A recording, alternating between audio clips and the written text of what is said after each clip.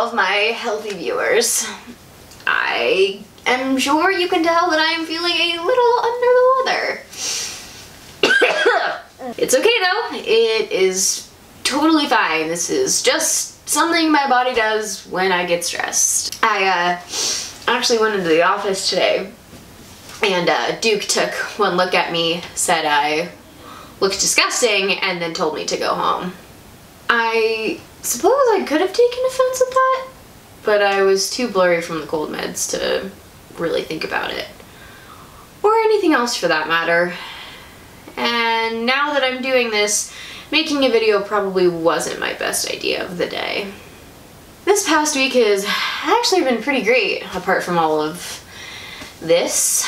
I wrote an article defending the CW that got a lot of traffic, so Duke was really pleased with that. But in all honesty, doesn't the CW get a bum rap? I mean, a lot of their shows have like superheroes and vampires, but that doesn't mean that they don't produce other good quality content. Ugh.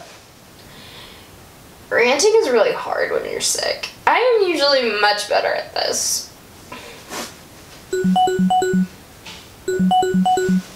Hmm. Oh, I mean this in the nicest way, but you look awful.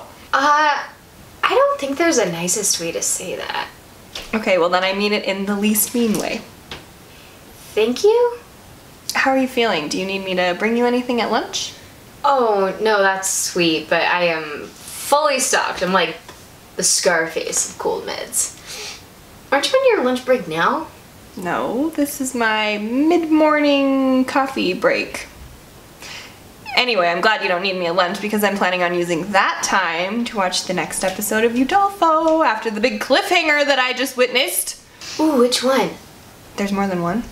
Oh, girl, you don't know nothing yet.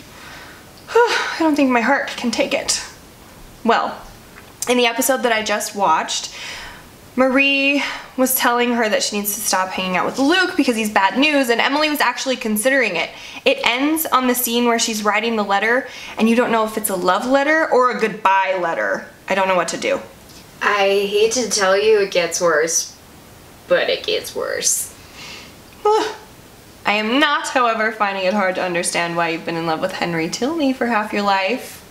I have not been in yeah, he is pretty swoony on that show. Oh, speaking of swoony, my brother John is coming into town next week with your dear brother on the same flight from New York. Won't that be fun? The Thorpes and the Morlands conquering the LA office together. And I know John is pretty excited to meet you. Oh, well, I'm excited to meet him too. Mm-hmm. That'll be nice, just to put a name to the face.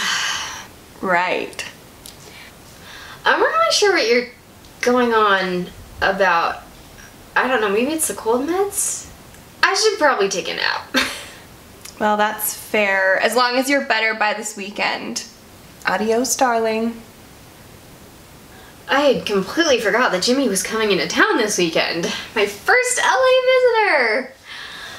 I am much more excited than I let on, but my nap time NyQuil is kicking in, so I will say ciao for now, darlings.